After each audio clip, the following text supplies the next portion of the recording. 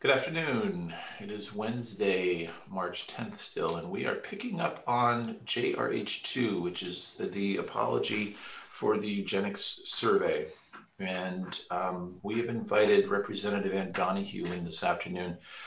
Uh, this will be pretty much the testimony we take on this bill this week, this resolution this week. Um, and then we'll start uh, during next week while we're post crossover. We'll take this up again um, to work on the language uh, with some of the suggestions that have been made. So, Anne, we wanted to bring you in, Representative Donahue, we wanted to bring you in because you have a real historic uh, connection and, and institutional knowledge, if you will, on what we're trying to do here.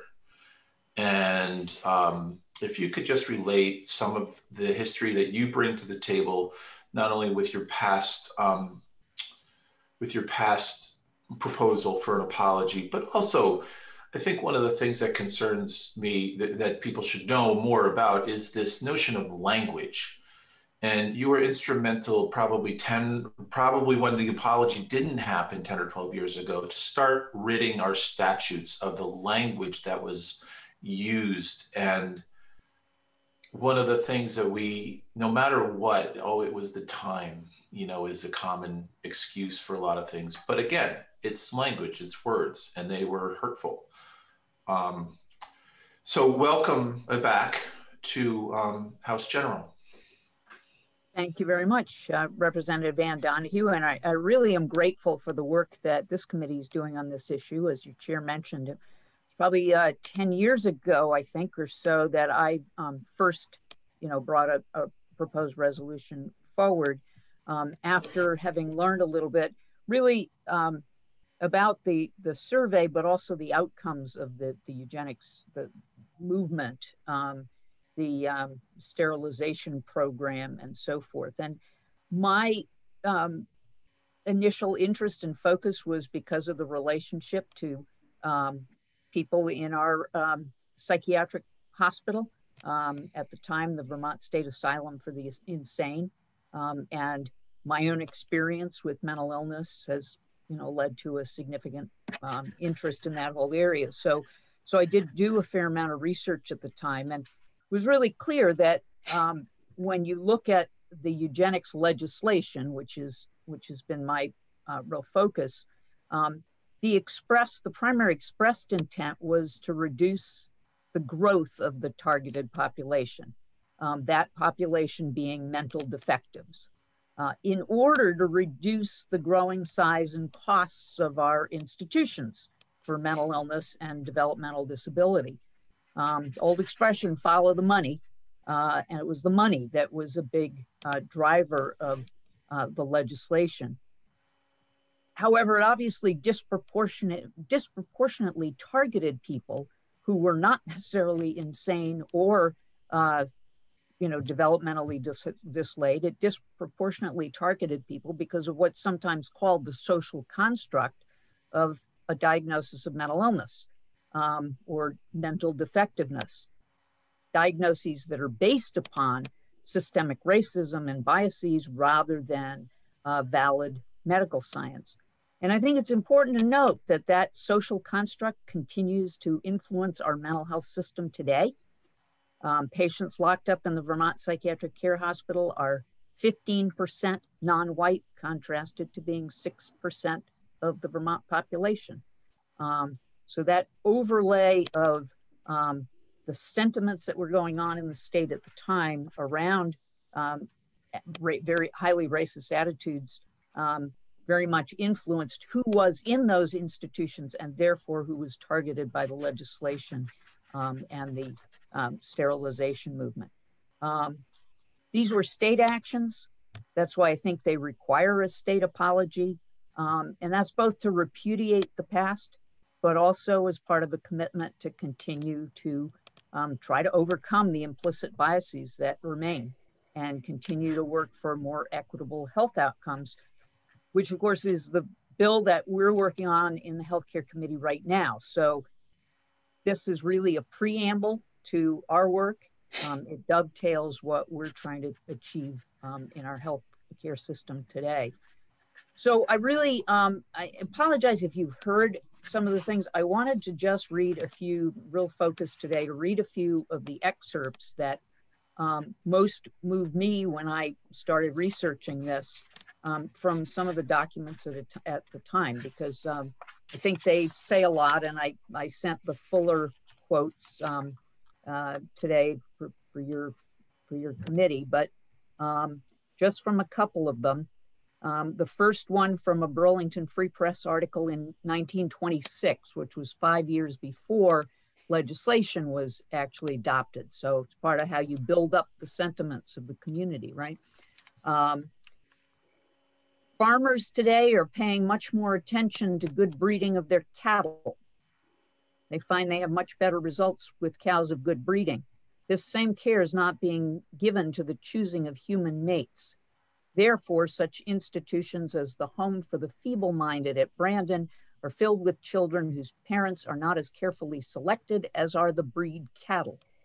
In a survey, it was found that many of the children in Brandon have some relative in one of the penal institutions or insane asylums of the state. The Vermont institutions are nearly filled. Uh, five years later, uh, the Free Press in an editorial said, something must be done to control the mental defectives in Vermont, both for the sake of improving the population generally and in order to control the rapidly mounting cost of the Department of Public Welfare. The question arises whether we're going to continue trying to keep up with the increase in mental defectives by adding more buildings and appropriating more money to operate them, or adopt the new policy of confining only the most dangerous cases and allowing others their liberty after sterilization to guard against reproduction of their kind. Um, and, and the third one was from the inaugural address of the governor of the state of Vermont in 1931, Governor Wilson. I call your attention to the fact that the numbers of our insane and feeble minded is constantly increasing with a corresponding increase in burden cast upon the communities and the state, we are doing our duty about the care of these unfortunates, but practically nothing to prevent a further increase in their number. Medical science points out one definite course which has been successfully followed in other states. The supervisors of the insane, in their biennial report, recommend the enactment of a properly safeguarded sterilization law you will do well to give this matter serious consideration. And the legislature then did um, pass that law. And the last piece that I want to note is um, the concept Vermont was actually criticized because uh, we were uh, not aggressive enough because our statute said that sterilizations had to be voluntary uh, rather than other states that uh, allowed them allowed them to be involuntary. What that meant, though, is really well captured in a letter that was written to the Attorney General from the uh, director of the Brandon Training School, making an inquiry as to what was adequate for uh, voluntary consent. And I read from the letter We have a boy, age 23, who has now completed his training at the Brandon State School. He is definitely feeble minded with the intelligence on the level of an imbecile he thoroughly understands the purposes and nature of the operation and that it will prevent him from having children. He has requested that such operation be performed. Side by side, description as being intelligence on the level of an imbecile, but he fully can give voluntary consent and understands uh, what he's consenting to. Um, the letter was raising a concern because his father had objected in writing uh, to the surgery.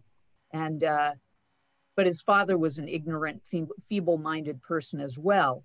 So they wanted to not give regard to the um, uh, written request of the father. And uh, the attorney general said, no, you don't have to pay any attention to the father because since he's over 21, um, that's not an impediment as long as he meets um, the voluntariness standard. So that that's a flavor of um, some of the um, extremely unfortunate things that were occurring, and that I think we we do need to say um, this was wrong. We recognize it.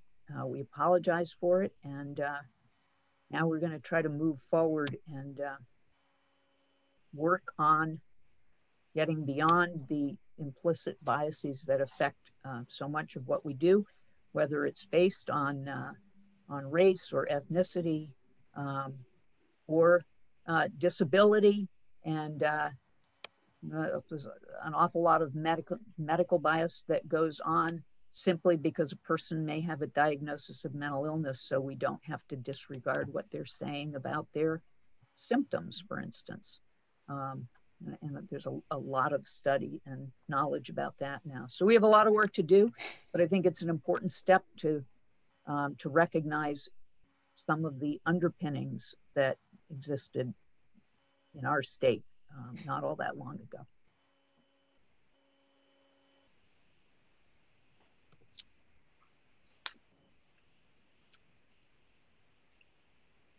Representative Donahue, did your research cover when you when you were deep into your research the um, I mean one of the things that stood out to me in, in the last couple of years of focusing on this, and I know we've had this conversation over time, but not as not as deeply as we have over the last year and change.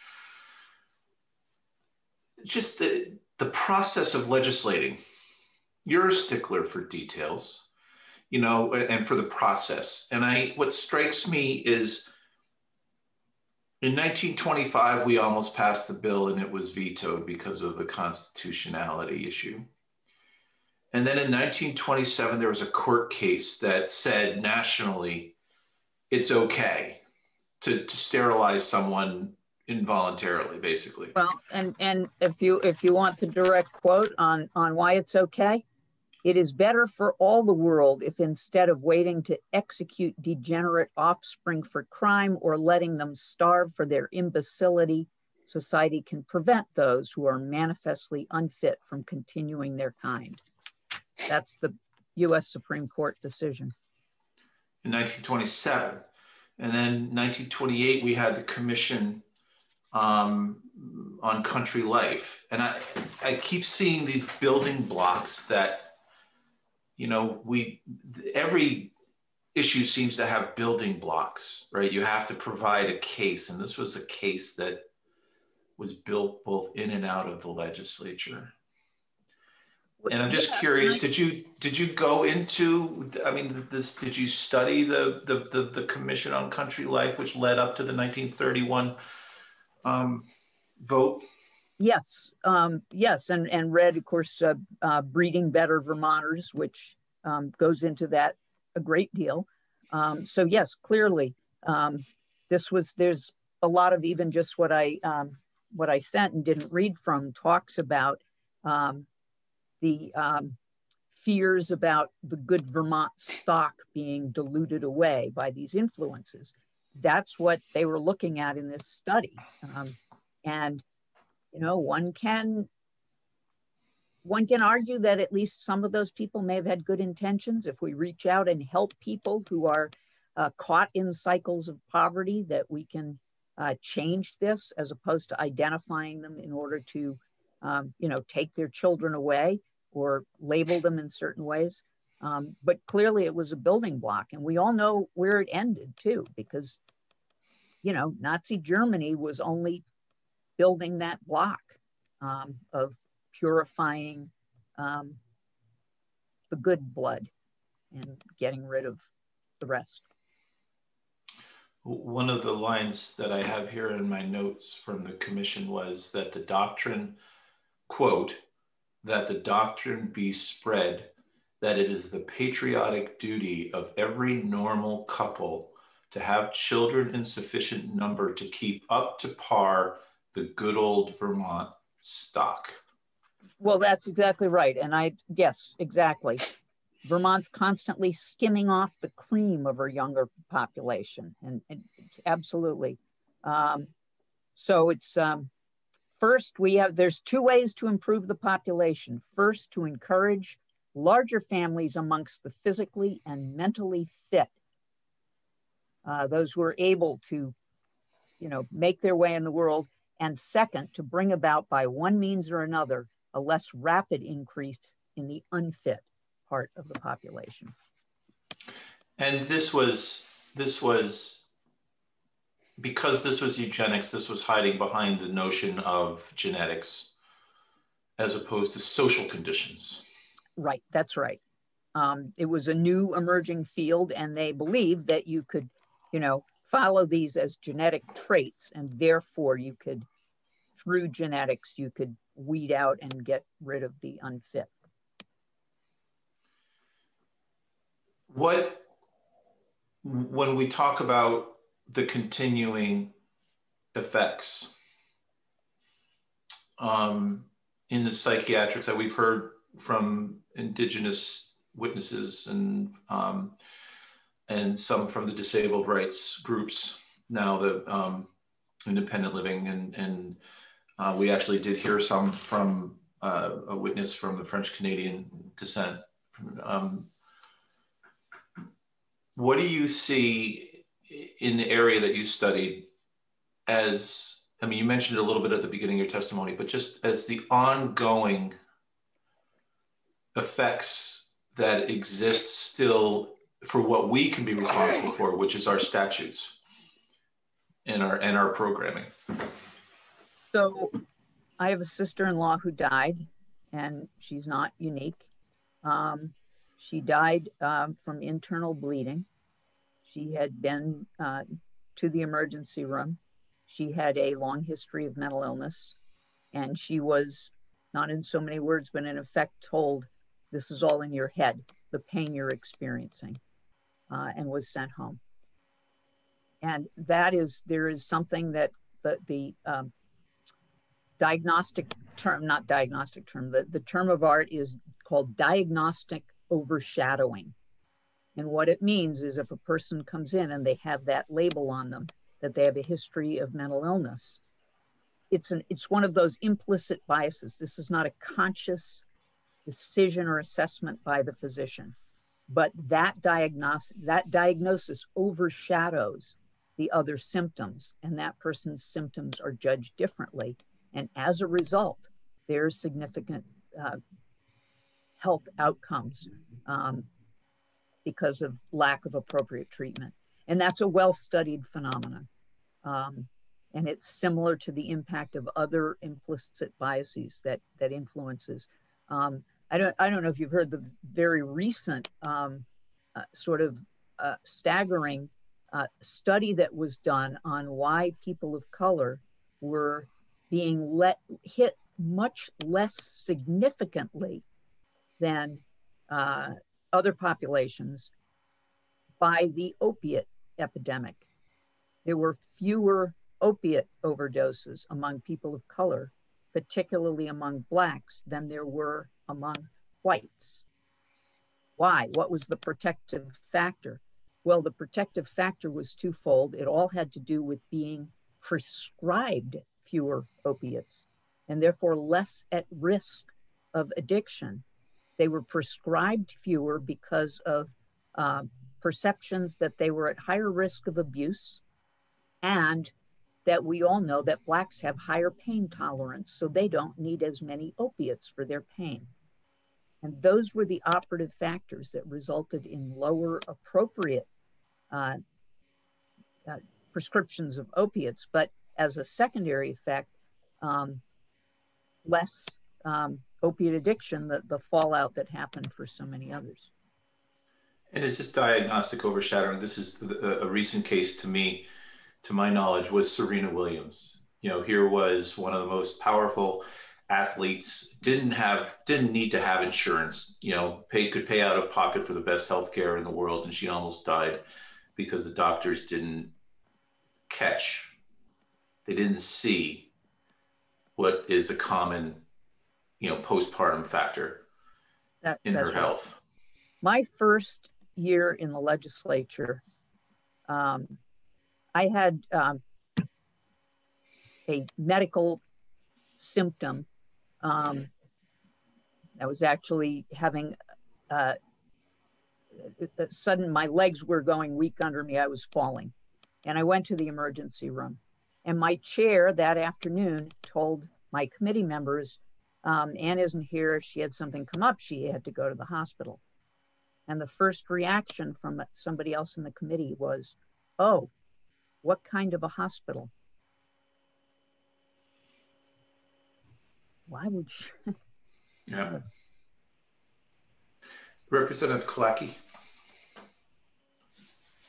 Thank you, um, uh, Representative Donahue. I, I, I, have two questions for you, if I may. The first is when you talked to us last uh, year about this resolution, you shared a story about the unmarked graves that I mm -hmm. just, and I, I just wonder if you'd be willing to share that again for the new members of the committee, because that is also an impact of this whole thing we're talking about. Sure, and the and the kind of depersonalizing in many ways as well. When um, I had always been aware that there was a, a graveyard uh, uh, somewhere on the grounds of the Vermont State Hospital. I had never gone to look at it, but after the flood, um, I became concerned that when we closed down the hospital and moved it elsewhere, that it would get forgotten. So actually, with a great deal of effort, I found it in the woods, abandoned, overgrown, um, and also discovered the fact that none of these graves had been marked. They had apparently been marked at one time with little wooden crosses, uh, no names on them. Um, there was a granite marker that had been put up many years later that reflected the fact that there were um, 19 or so, not even a, a known number, people who had uh, who had died at the state hospital and been buried there anonymously. Um, and um, actually, with the help of this legislature, I mean, it, it is now uh, in very well tended condition, I'm happy to say, um, that there was a response to the concerns. Um, we also passed this little tiny piece of legislation, little special and exemption um, for um, access to um, medical records of people long since deceased, which are otherwise still protected for the explicit purpose of trying to track down and identify who the people were in these graves. Um, and I actually spent a good deal of time doing that. And um, it's clear that I'm not going to be able to come up with a final definitive list, although I have a pretty good list and I'm actually planning to um, have a plaque made to place at the new uh, Vermont Psychiatric Care Hospital to remember those people by their names, not just as anonymous, an anonymous grave site. But and this is the grave site that's up off of um, the other side of the highway now, or the other side of the railroad tracks up. Of, um, yes.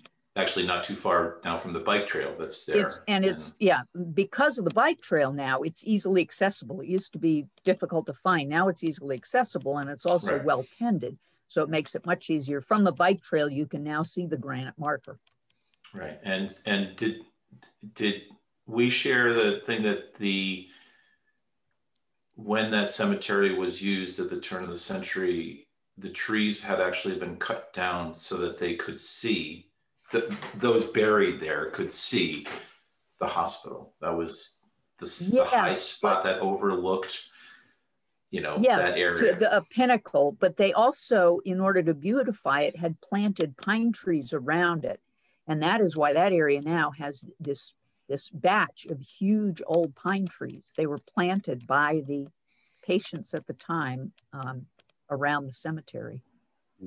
And this operated as kind of a potter's field because in the corner of Hope Cemetery, at the very back of Hope Cemetery, there are a number of more contemporary graves um, for people who who who died at the hospital, you know, up through well, up through 2011. Well, the laws changed um, to require communities to take care of their own deceased if they could send them back to their communities. So this this cemetery was only used for a relatively short period of time. The this unmarked one. Um, because after that they changed the law to require um, uh, home communities to take them. So I'm assuming those in at Hope Cemetery probably are the people that they could not identify a hometown to to send them back to. Um, but there are also two individuals who are buried somewhere on the grounds of the state hospital because uh, for varied reasons um, they weren't able to move them. To the center. And they, and I mean, that was the worry when all the construction happened down there was that they would be discovered at some, you know, dis- disinterred by accident. Right. Um, Representative Murphy? Sorry. Oh, I- So Jar- John, go ahead, I'm sorry. Just, and I, I, I know that um, you and I shared kind of language as we were reintroducing this resolution and it has evolved and it's, I think that the chair is gonna, you know, we're, we're gonna look at it again and evolve it, but I would really appreciate it if you look carefully at the resolution as it now stands. And if you have any input, because I think naming the affected communities is, is really important for all of us on this committee. And, and you've done so much work on this. So um, any anything you can send to the chair to the committee would be deeply appreciated. Thank you. I will do that. All right. Thank you. Representative Murphy? Thank you, Chair Stevens. Representative Donahue, I know you've done just an incredible amount of study, research, um, trying to pull up documents on this over the past. And I wondered if you have um, any information on the actual vote on the uh, Act of uh, ni- 1931, number 174, when it actually passed. Was it uh, just a voice vote where you don't have a recording? know, I, I don't remember. I would, I would have that. I actually, um, have the, I, I mean, we, our state has more than a lot of states in terms of a, of a record. And they're actually, UVM has a very extensive, um, collection of documents, which is where most of my research ended up coming from. Um, and, um, I mean, I I can send you that link, but I also could probably find in my notes whether there was a, a vote or not. Um, I just don't remember. I haven't relooked at at that um, research recently. Yeah, I would, I would really appreciate that. I have a personal connection for the 1931 vote. and um, Would love to know if it's where I can discover an answer to my question or if it just needs to be let lie. And Representative Murphy, I might send a if, you might be able to send an email to um, Michael Chernick, who might have access to that. He's kind of the keeper of those kinds of archives. Um, Right. And so you might want to see, send him an Yeah. inquiry. Yeah, I, I thought that if, if Anne had already done that, I would, I would not request it again. It, I think it would be a pretty deep dive. So if, if it's already been done and Anne had it, I just thought I'd find out before I made a formal request. Thank you. Sure. Um, Representative I'll check. Bluemle? Okay, Representative Bluemle? Yes, I'm so sorry because I know that you need to get to your committee. Um, but I, um, I, a friend um, who is on your committee uh, let us know that Judy Dow, who's testified here to us, had testi- just testified in your committee. And I was wondering if there was anything that um, she said that, you know, um, that would be important for us to keep in mind.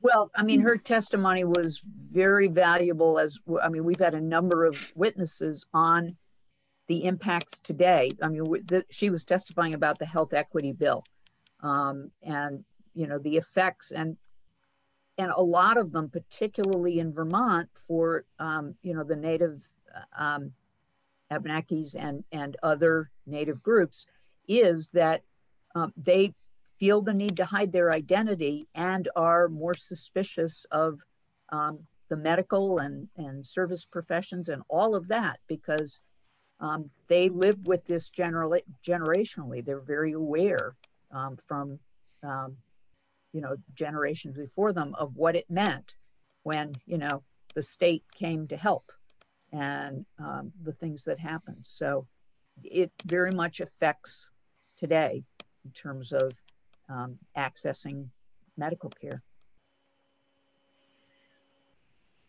Thank you. Any further questions for Representative Donahue at this time? Um, being respectful of all of our non-existent free time, um, I would thank you for taking this half hour and and um, as Representative Killacky mentioned, if you can take a look at the um, uh, or maybe wait a few days and see what will let you know that there's a new draft available. Um, because Yeah, Nancy Gallagher made some suggestions that were fairly um, spot on, not too many. Um, but we're really, know. what's that? She would know. I mean, she's the preeminent. Yeah, and um, you know, again, we did a lot of the work on the writing last year, um, and Right. so, but um, no, I, I thank you for this testimony and for you know sharing your some of your stories. Um, it is um, the privilege of hearing the stories, even under this circumstance of Zoom, is really. Um, deep for me and i appreciate the time you're taking to share with us and um, helping us move this forward I really appreciate that you're taking it and uh, with such uh, gravitas and, and moving it because I, I think it is incredibly important. Um, if people don't understand the past and know what happened in the past, it's a lot harder to understand why it would still influence things today and why there are in fact still issues today that people um, don't really understand the source or or why there would even be concerns or issues. So. Right. All right. And i think um, we will i will be in touch with you before we go on the floor whenever that may be. Um, thank you th- there's um, uh, because I have a question about language, Mhm. and I won't. We won't talk about it now. But I mean, it's to go from disabled to you know from from what used to be used is um, it's hard. It's a hard you know. Um, so I'll, we'll talk on that language sensitivity um, a little bit closer to um, us work finishing work on the bill. Thank you so much All right, thank you, Representative. All right. Um, you can, yeah. So committee, we're going to revisit this next week. Um, I'm going to ask Ron to post, before I ask Michael Chernick to do any rewriting, um, you know, Nancy Gallagher had provided some, some um, language I believe it's under, it's on our webpage. And um, John also did some, some, um, a little bit of rewriting work on the uh, resolution as well. And I'll, I think we can talk about that next week. Um, but take a look at the, take a look at um, Nancy Gallagher's comments and John, if we can post yours as well. And then it's, um, because I think it's time to start um, working on the language. I've asked Ron to check in with the folks who have testified with us um, to invite them back to be in the room when we take this up again and um, and to see if there's anybody else who may want to testify. I know there were some at least a couple of people who testified last year who did not this year, and we can double check with them to see if they wanted to to um, to testify. But um, it was some of the most moving testimony last year, and I don't think it would be easy um, for them to come back in um, unless they chose to. Thoughts on this before we end the day?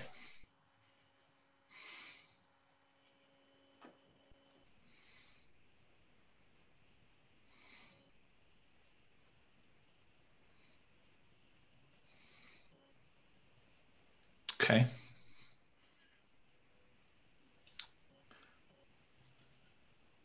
So let's let's just sit with that, and um,